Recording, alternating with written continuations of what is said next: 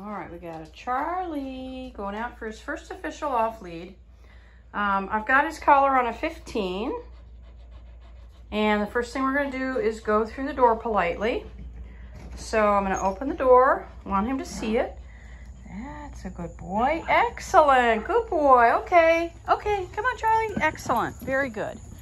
So he has to wait just a few seconds, he gets invited out. And then we move out here um, and he starts just being distracted. Oh, he hasn't been off lead out here yet. And uh, we're gonna start teaching him that he is responsive even with the level of distraction that the big wide world offers. So I do all of my um, foundation work with uh, start with a long line, teach them what that sensation means along with uh, calling their name. The next step is to put him in that yard right behind him and start teaching him in that small confined space and then we move out here to the big yard and uh, because there's so many more choices out here, we've got to figure out what level he's responsive to, but you can see he's not tuned into me at all, at all. All I did was open the door for him in his mind. He is not with me at all. So I'm gonna start him right away. I'm gonna put my um, transmitter up so that you can see how long I hold the button, what level I use, what when I make those decisions. You can see all that happening live. So I want to just follow him a little bit here. if I wasn't doing a video, I would have uh, already called him back to me. But here he's distracted. Charlie, Charlie, a little pressure. And he says he doesn't care about that level 15. So I'm going to use the boost button, which is this red button here. And that's going to increase this by five. It's going to go to a 20. Charlie. Good. Good. Charlie. So he looked up on his name that last time, and so he didn't get any pressure. But then he put his nose down and said, oh, I'm pretty busy doing this. So I'm going to increase his level. I'm going to start at a 20 and be able to boost him to a 25. Charlie. And I'm just trying to find a level that he responds to. So nothing there on a 20. And I do want to move here so I can see him. I want to be able to see his response. Charlie, pressure there. I'm on a 25 now. So I'm going to increase him up. I'm going to go right to a 30 because he's really completely not tuned into me at all. Charlie. Charlie. Yes. Good, good, good. All right, he definitely felt the 30. Tilted his head a little bit. Good boy. Good boy. All right. Good boy, Charlie. Good. And he get when he gets to me, he gets a treat. good boy. So I let off that pressure just as soon as he moves towards me so that he can make that connection. And again, everything that's out here is way more interesting than I am right now. So my goal in this session, excellent, good boy. Hey, good boy. Good boy, Charlie, good boy. My goal is to have him start to connect the dots that I'm important. He can do anything he'd like to do, but when he gets called, he has to drop what he's doing and move towards me. And uh, sometimes we see that in the first session. Sometimes it takes more than one. But there he's distracted again. So I'm backing away from him so that it's increasing the distance between us. Good boy. Good boy. All right. Good job. That a boy. Good, Charlie. Good boy. Excellent. Good. Good, good. That a boy. Very good. Very good. Great. So this level um, 30 certainly seems to be good for, good boy, for this level of distraction. And I will adjust it as needed. But right now, good. He's definitely tuned, more tuned into me than he was when he started.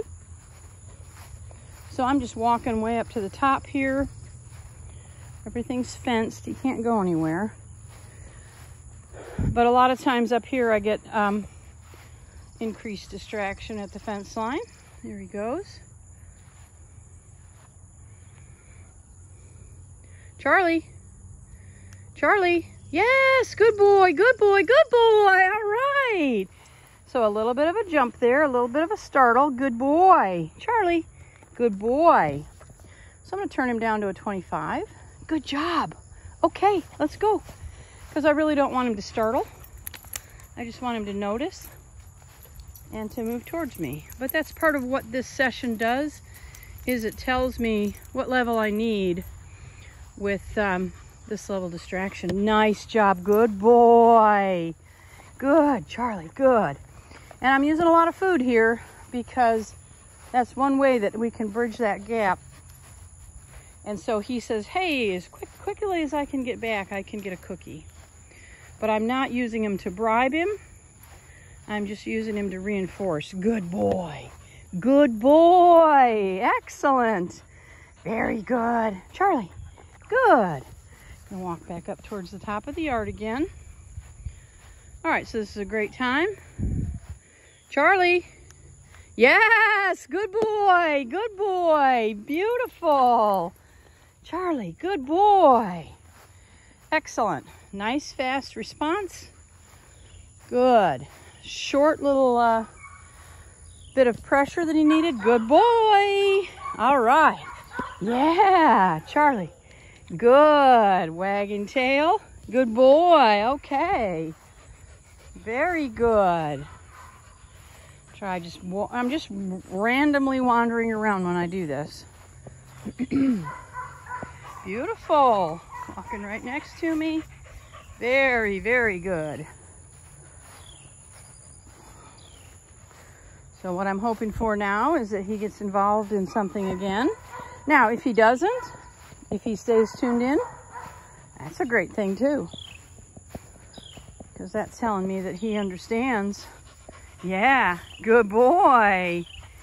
He understands that I am important. Excellent. Oh, yes. Yes, good boy. Charlie, good boy. Okay. He's super smart, uh, which is no big surprise, right? Good boy. Excellent. So you can see in uh, seven minutes, he has changed his mind in terms of my level of importance. So he's trotting away again. We call him from there. Charlie! Charlie, little tap. So that was a little high. He gave me a big startle again. So I'm gonna go back down. But again, this is this is what this session's for. We usually start up higher and then get lower. Good boy. Good boy. Good boy. Yeah, good boy. All right, Charlie. Excellent. So I would have addressed that a little bit sooner if I wasn't videotaping because I'm trying to explain what I'm doing and he gave me that startle. I would have immediately turned it down and immediately gone to a lower level. Um, it turned out to be fine. He, he ended up moving right back towards me um, without actually any additional pressure. Um, but when we're timing an off-lead dog, uh, uh, it does benefit you to be a little bit quicker on that. Excellent. Oh yeah, I know, it's warm. So warm this evening. It's just hot and humid and it looks like it's gonna rain, maybe a thunderstorm. Um, but at least the sun's not beating down on us. All right, so I'm still on a 20. I'm gonna try calling him without any pressure, but I'm gonna pressure if I need it. Charlie, quick tap. All right, good boy. So still a little bit high. So remember I brought him out on a 15. That was the max that I have ever needed until we got off lead out here. And so now I'm back down to a 10. Good boy, because I want the lowest level that he responds to. I don't think I have a lot of dog left here with this humidity. Charlie! Charlie! Little quick tap. Yes, good boy. And that 10 was much better. He just tilted his head. Good boy. Charlie, good boy. He just tilted his head and uh, immediately moved towards me. So I'm going to turn my camera off. I think we're going to do maybe one or two more recalls um, just because you can see he's panting pretty well there. And then get him back in. I'm about to... Um, the air's been on all day. They've, I've had the doors open for about an hour. I think I'll probably um, feed everybody, turn the air back on again, and let everybody stay nice and cool. But there he is.